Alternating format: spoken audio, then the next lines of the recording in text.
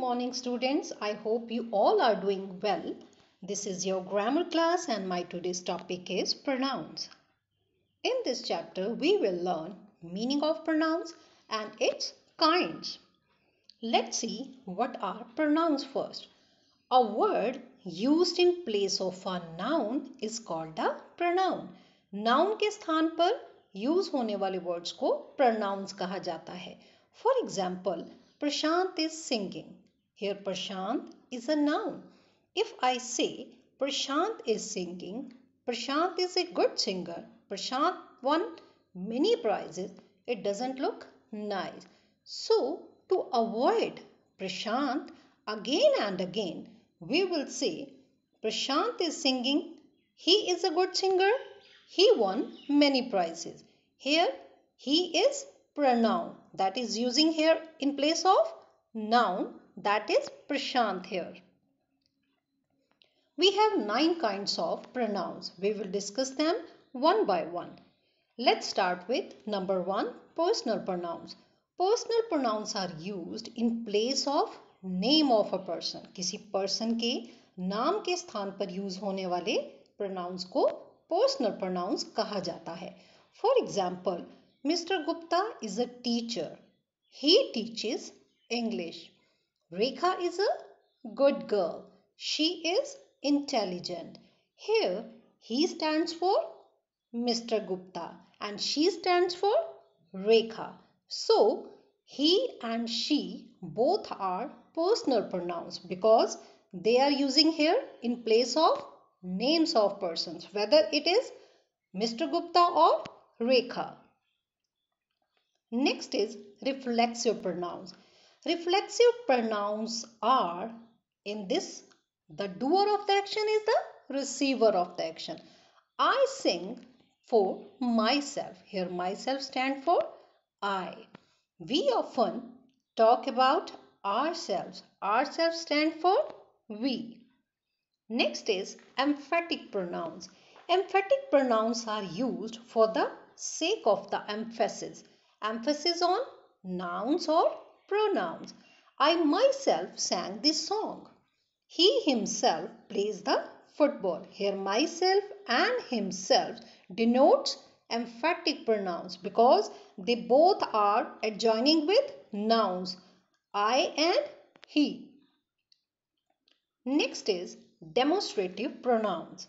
Demonstrative pronouns are used to point at object or objects they refer to means they point out specific someone or something. For example, this is a child, that is a tree. Here this and that are demonstrative pronouns whether it is near or far or it may be singular or plural. Next is interrogative pronouns.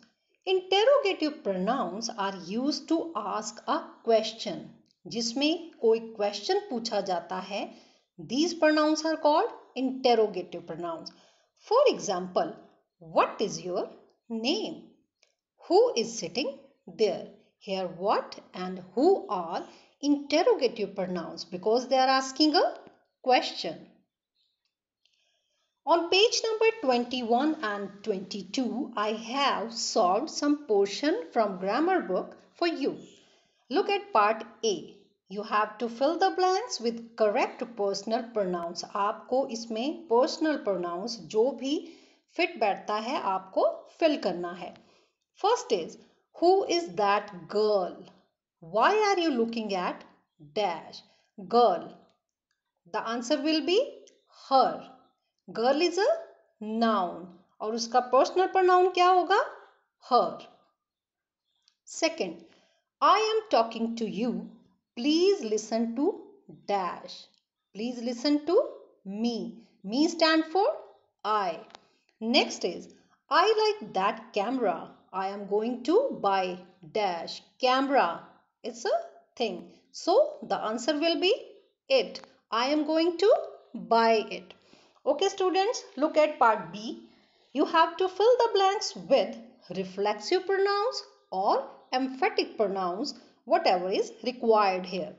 In first sentence, my brother hurts dash while cutting the vegetables with a sharp knife. My brother. So the answer will be hurts himself. Next is the players carried the injured player dash out of the field. Players. So the answer will be themselves. The players carried the injured player themselves out of the field.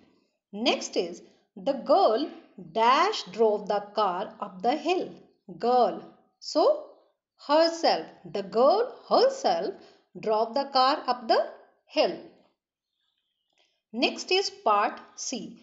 In the same you have to fill with demonstrative pronouns. The first is dash is the book I was talking to you about. This is the book. Second is I have many shoes in my closet at home. I am thinking to donate some of dash shoes. That's why the answer will be these. To donate some of these. Next is part D. Write down the correct interrogative pronouns. Number 1 dash will give the correct answer. You have question mark at the end of the sentence and interrogative pronouns you know better to ask a question. So the answer will be who will give the correct answer. Next is dash is your book among these. Which is your book among these? Next is dash is wrong with this patient. What is wrong with this patient? Okay students, I hope you get all my work. Today I have taught you. I have some homework for you. You have to do remaining parts of part A, B, C and D on page numbers 21, 22, 23 and 24 in your grammar book neatly. Thank you. Have a nice day.